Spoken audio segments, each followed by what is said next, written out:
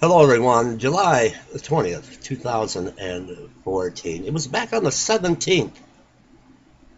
Three days ago, I reported on the move taking place in Grand Rapids to arrest the homeless that are on a corner holding a cardboard sign that they are hungry and they are homeless. And I said this is going to spread. It's going to spread like wildfire the homeless roundup has begun. And I just be, prior to that reported that in Ann Arbor, Michigan, MDOT, Michigan Department of Transportation, came in with bulldozers and wiped out an entire homeless community, their tents, their belongings, what little they had. And remember when I reported about Tent City in New Jersey, what they did. They came in with bulldozers and wiped them out. The roundup has really begun, but now it's attacking the very heart of my ministry. Flint, Michigan, where I spend the majority of my time every day on a daily basis trying to meet the needs of the tired, the poor, the impoverished, the hungry, and the homeless.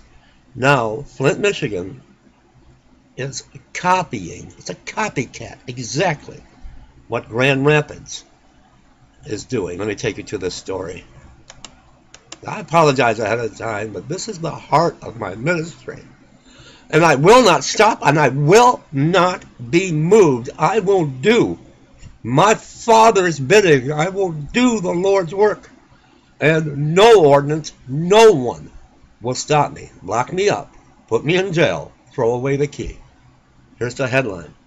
No place for panhandlers. Flint Township considers end to roadside solicitations. And let me make one thing perfectly clear. Not everyone on that corner is looking for a fix or for a drink. They're hungry, they're tired. Tired families, little children are homeless in our society today. And those that have a problem with drugs and alcohol, by ministering to them and preaching to them and not giving up on them. You know how many come to salvation and accepted Jesus into their heart? Remember my video on homeless Dave giving his life to the Lord on Bristol Road in Flint, Michigan? Well, if Flint has its way, all that will stop. Flint Township, Michigan. I apologize. I'm very upset. Derek Young spends many of his afternoons in dirty clothes with his dog, silently sitting along Corunna and Miller Roads with a dusty sign asking passers-by for help. On occasion, a driver will stop and give him some spare change or a few dollars. A full day on the corners usually nets him about 30 or 40 dollars, enough money, he says, to buy food to survive and potentially find some shelter.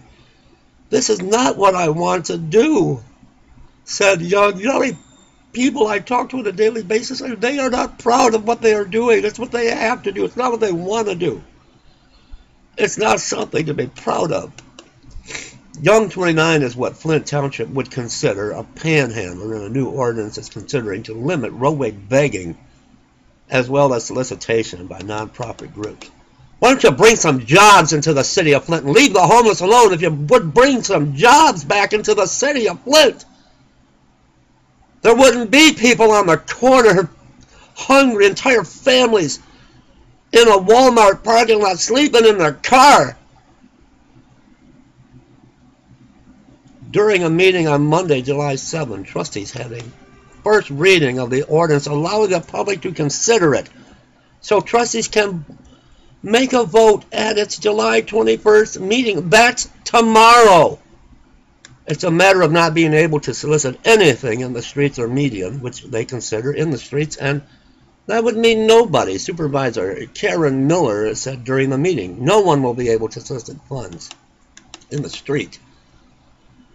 The rule would outlaw asking for money from motorists on the road. Now listen carefully. See if this doesn't remind you of the video I just put out what's taking place in Grand Rapids as well as anyone waiting in line to get into a home, business, or athletic facility. Such requests on private property could be banned by the owner, tenant, or occupant.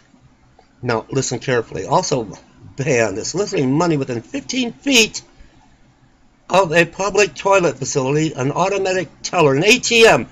Sound familiar? Grand Rapids, Michigan?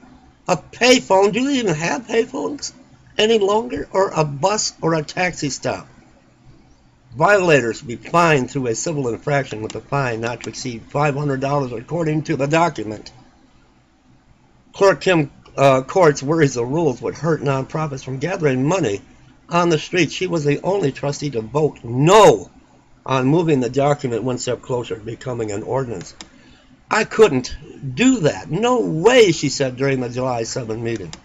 Trustee Melinda Parker asked if the township could exclude charitable organizations, but Miller said any rule would have to be non discriminatory across the board. Federal courts in recent years have ruled that panhandling is a First Amendment right, but has said it can't be regulated through local ordinances. The discussion has Chris Hamilton, executive director of the Old Newsboys. That's one charitable organization that I do trust. I know. They helped when I was a child at Christmas. Very nervous because the annual holiday newspaper sale. We were poor growing up, and the Old Newsboys would bring us presents.